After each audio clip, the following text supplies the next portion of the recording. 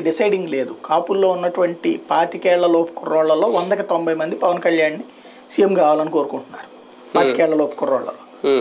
పద్దెనిమిది నుంచి అది ఇరవై రెండేళ్ళ లోపు ఇరవై ఒక్కేళ్ళ లోపు కుర్రోళ్ళు వందకు వంద మంది కావాలని కోరుకుంటున్నారు. ఆ మిగతా పద్దెనిమిది ఇరవై ఒకటి నుంచి ఇరవై ఐదు మధ్యలో వాళ్ళు ఒక ఇరవై శాతం తగ్గుతారు. అక్కడి నుంచి చూస్తే రాజకీయం చూద్దాంలే అనేటువంటి దూరంలో ఉన్న వాళ్ళ సంఖ్య ఎక్కువగా ఉంటుంది. కాబట్టి కాపు పోలరైజేషను రెడ్డి పోలరైజేషను ఈ ఎప్పుడు అంటే నాయకుడు సీఎం అవుతున్నప్పుడు పోలరైజ్ అవుతుంటారు. ఇప్పుడు జగన్ ఫస్ట్ ట్రిప్ ఇవ్వాల? జగన్కి రెడ్లందరూ సపోర్ట్. ఇప్పుడు అనంతపురంలో ఎట్లా గెలిచారు వాళ్ళు? క్రిస్టియన్స్ కూడా పెద్దగా ఏం పూర్తిగా ఏం సపోర్ట్ చేయలేదు. అదే రెండోసారి రెండు వేల పంతొమ్మిదికి వచ్చేటి గ్యారంటీ మనోడు గెలవబోతున్నాడు అన్న ఫీలింగ్ రాగానే అప్పుడు కులం అంతా వెనకాల వచ్చింది. అందుకనే కదా జగన్ కులాన్ని తెలుగుదేశం పార్టీకి చంద్రబాబు గారికి ఈ డిమాండ్లో ఏమన్నా ఒక తలనొప్ప? రేపొద్దున అనవసరంగా పొత్తు పెట్టుకుంటున్నాం అనే ఆలోచన ఏమైనా చేసే అవకాశం ఉంటుందా? ఏదైనా సరే మేనేజ్ చేయగలిగిన మగాడు ఆయన ఉహు. ఒప్పుకోవాలా? అంటే ఒప్పిస్తారా? ఒప్పిస్తారు.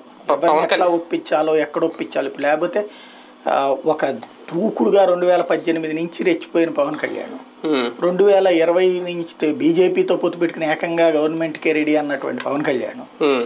ఆ తర్వాత కంప్లీట్గా ఎలాగ టర్న్ అయిపోయారు?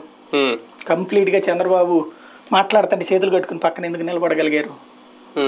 అంటే పవన్ కళ్యాణ్ లాంటి అదేదో అంటారు కదా మంత్రించి అభిమంత్రించి దేన్నైనా సరే ఇది చేసుకోగలడు.